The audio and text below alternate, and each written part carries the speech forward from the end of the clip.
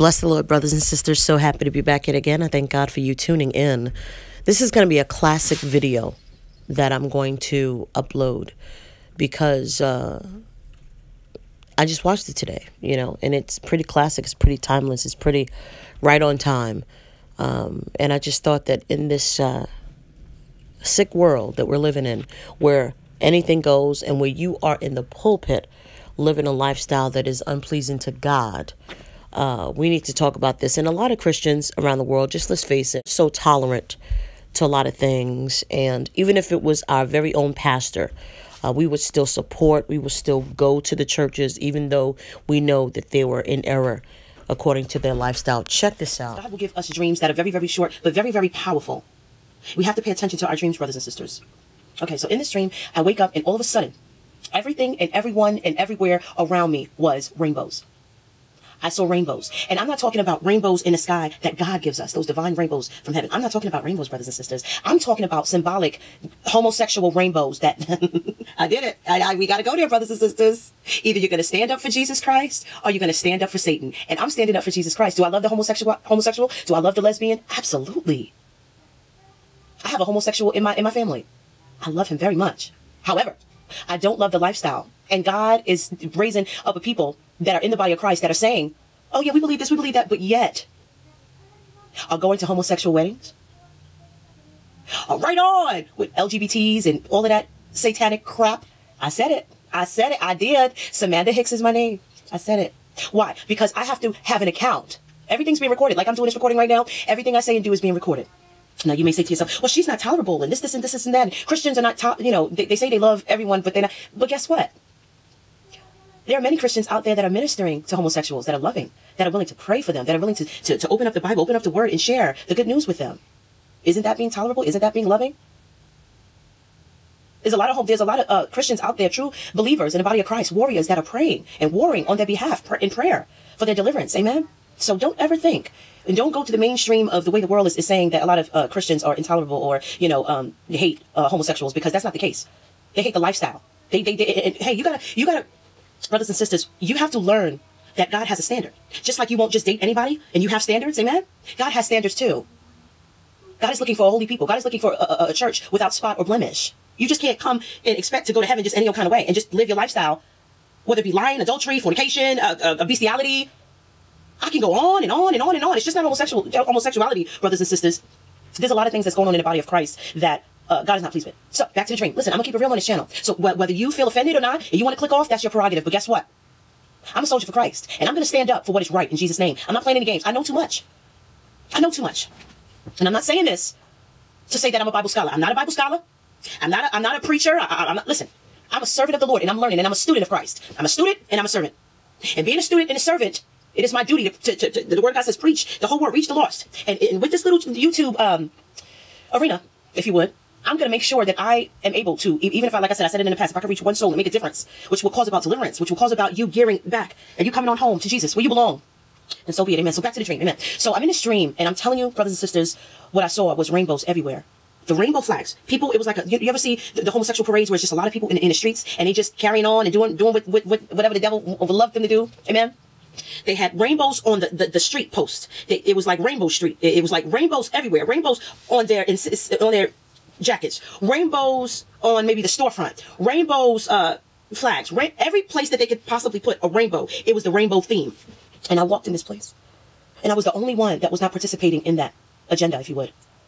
And you ever see, like, I think it was, um, you ever, you ever see a, a show, I don't want to say the Blues Brothers, because back in the days we used to watch the Blues Brothers, and I think that, I don't know if it was the Blues Brothers, but it was, it was something where, you know, you go into a place where, okay, you go into a place where it's like all one race, and then one person comes in, and then everybody of a different race, and then everybody turns around and looks at that person. Y'all know what I'm talking about. They were looking at me as an outcast. It was like everybody, God is so good. I'm just thinking about some things, like just the demonic presence was there, rampant in the light of the Lord that I was walking with and, and that was inside of me. They didn't like it. They looked at me because I was the only one there that was not participating in that agenda, and I, I just was walking out. And, and, the way I was, I was trying to observe everything, and I just noticed that everything was was dealing with rainbows, and I was just like. Look at the devil. Look at the devil. And it reminded, it, I, I had a feeling that this had to do with the future. I had a feeling that this was like a future agenda. Like everything, if you're not down with that type of homosexual agenda, You had to be, you had to be, either you had, you were going to be fined, either you're going to be uh, banished, outcast, killed, whatever, whatever the case was. You just felt that sense of, um, you're going to be in trouble if you're not down with them. Which, which probably remind me of like the mark of beast when it's going to be in the future, Well, you got to stand up for Christ, or your head's going to get chopped off. And I'm like, you know what? Give me on my good side. If I'm around to, to be around that side, get me on my good side because by the time, you know, the, the guillotine comes down, I'm not going to feel it anyway. I'm going to be with Jesus. So I'm not afraid of that. Listen, I know things are coming. I know there's, there's going to be wars and rumors of wars. I, listen, if you ever read the book of Revelation, you know that it's going to get worse before it gets better. Brothers and sisters, we're going to have to stand up. It's going to be a part, it's to be a time, brothers and sisters, where we literally have to stand up and show God the truth of who's who. Either you're with Jesus or you're with the devil. Either you're with the devil or the satanic, uh, Luciferian or, or, or Illuminati. If you're down with that agenda, don't expect heaven. Don't expect to get saved. If you're gonna if you're gonna go and stay there, because there's certain people that go to that arena and repent and live for, and live for God. There's people who have turned around. There were lesbians who turned around. There were homosexuals who turned around and gave their life for Jesus and preaching the good news. Yes. So don't tell me, Hashanda, don't tell me that God is not still working in the land of the living. He is working. He's doing things. He's doing great and mighty things. This goes out to the homosexual. This goes out to the lesbian. This goes out to the thief, the murderer. This goes out to the liar. This, this goes out to everybody who are in sin and are comfortable with it. Who are in sin who are going with the flow. This is this is this message goes out for those Christians who say they're Christians and they say they love Jesus, but they live in with a man and a man. They live in with a woman and a woman. They live in a homosexual lifestyle. They live in a lesbian lifestyle. They call themselves Christians. Wake up. Don't be deceived by the devil. You're being deceived. The devil is a liar. You ever heard that saying? And I believe that the devil wants people to keep saying this. You ever, you ever heard somebody say, the devil is a lie. The devil is a lie. Think about what you're saying. That is absolutely incorrect. And I'll tell you why. You just said the devil is a lie. The devil's not a lie. He does exist. But the devil is a liar. He wants to deceive God's people. He's already deceived the Satan's people. So if they want to live in that cesspool, they have their reward coming. And I'm telling you, it's not a good one. So if you're out there rubbing elbows and being accepting of the gay agenda, the lesbian agenda, the LBT, if you're, you're accepting it and you call yourself a Christian and you're supposed to be standing up for truth, my brother, my sister, shame on you. You will be tested, and God is holding you accountable. Are you supposed to love them? Absolutely. Do you work with some of them? Probably. Some of them can be your neighbors, or like I said, some of people out there are your family members. You better show love to them. Absolutely. But you're not going to do this to their lifestyle. You have to tell them that they're in error before they burn for all eternity in Jesus' name. They are not true believers in, in, in, in, God. Because guess what? They are deceived by Satan himself. If they want to live and stay in that lifestyle, and they don't have any repentance heart and knowing that, they, that, that the word of God is true, being a child of God is confessing out of your mouth and knowing in your heart that the word of God is true. So if you're telling me that the word of God is true, are you still living in sin and loving it? If you're watching porn right now, brothers and sisters, if you are living a satanic life and witchcraft and occult and looking at, you know, things that God is saying don't do it, and you call yourself a Christian,